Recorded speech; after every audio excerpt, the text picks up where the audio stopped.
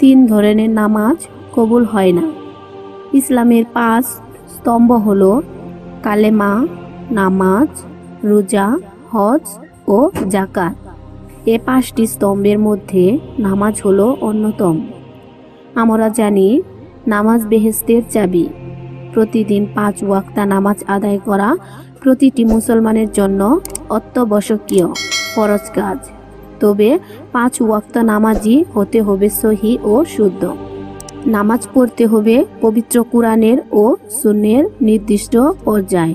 কেউ যদি মন গড়াভাবে নামাজ আদায় করেন, সেই নামাজ কোনোভাবেই আদায় হবে না। নামাজ যেমন বেহেস্তের চাবি, অর্থাৎ নামাজ ছাড়া বেহেস্তে যাওয়া যাবে না। তেমনি নামাজই কোনো কোনো ব্যক্তিকে জাহান্নামের দিকে ধাবিত করতে পারে। কোনো কোনো ব্যক্তি কি কারণে নিয়মিত নামাজ আদায় করার পরও জান্নাতে যেতে পারবেন না, তা নিচে উপস্থাপনা করা হলো। এক, কখনো কখনো দেখা যায় নামাজের ওয়াক্ত হয়ে গেলেও কেউ কেউ অলসতা করে সময় মতো নামাজ আদায় করেন না। অনেক সময় তারা বলে থাকেন, কাজা নামাজ আদায় করবেন। অলসতা করে যারা সময় মতো নামাজ আদায় করেন না, তাদের নামাজ কবুল হবে না।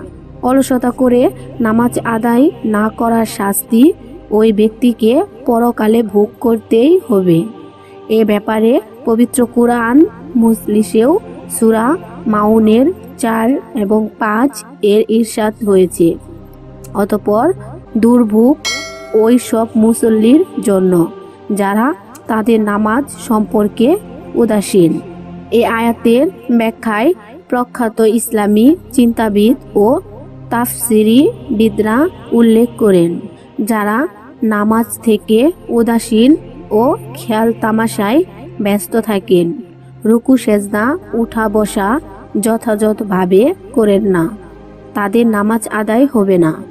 যারা নামাজের কেরাত, দোয়া ও তাসবি যথাযথভাবে পাঠ করেন না। এছাড়া কোনো কিছুর অর্থ বুঝে নয় না বা বোঝার চেষ্টাও করেন না। মসজিদে আজান হওয়ার পরও যারা অলসতা সময় মতো নামাজ আদায় করেন না এবং নামাজে দাঁড়িয়ে নামাজ নিয়ে অমনোযোগী থাকেন, তাদের জন্য কঠিন শাস্তি অপেক্ষা করছে। দুই আমাদের সমাজে কিছু মানুষ আছেন, যারা মানুষকে দেখানোর জন্য নামাজ পড়েন।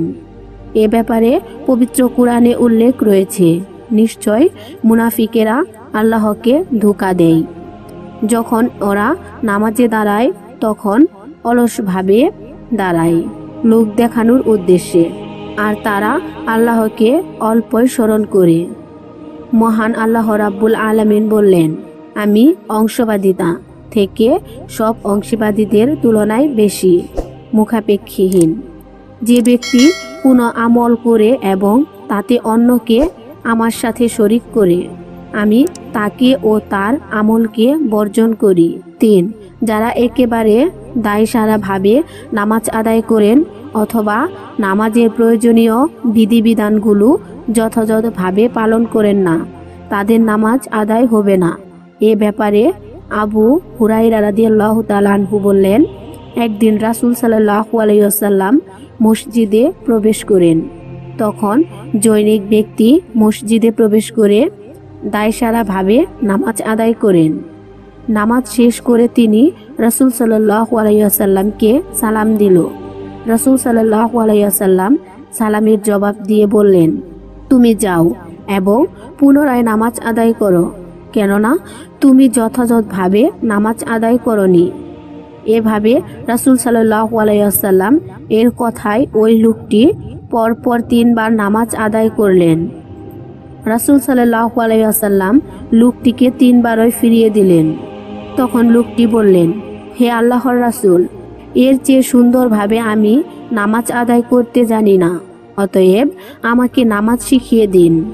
লোকটির মুখে এ কথা শোনার পর রাসুল সাল্লাহ আলাইসাল্লাম বললেন, যখন তুমি নামাজে দাঁড়াবে, তখন তাকবীর দিবে। তারপর পবিত্র কুরআন থেকে যা পাঠ করা তোমার কাছে সহজ মনে হয়, তা পাঠ করবে। তারপর ধীরস্থিরভাবে রুকু করবে, অতপর সোজা হয়ে দাঁড়াবে।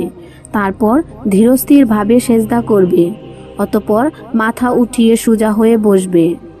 এ ব্যাপারে রাসুল সাল্লাহ আলাইসাল্লাম ইরশাদ করেছেন, মানুষের মধ্যে সেই ব্যক্তি সর্বাপেক্ষা বড় চোর, যে ব্যক্তি তার নামাজ চুরি করে সাহাবিরা জিজ্ঞাসা করলেন, হে আল্লাহর রাসুল, সে কীভাবে নামাজ চুরি করে?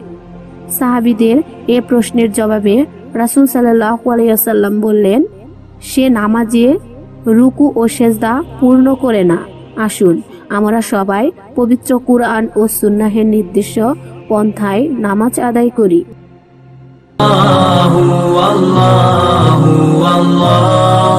আল্লাহ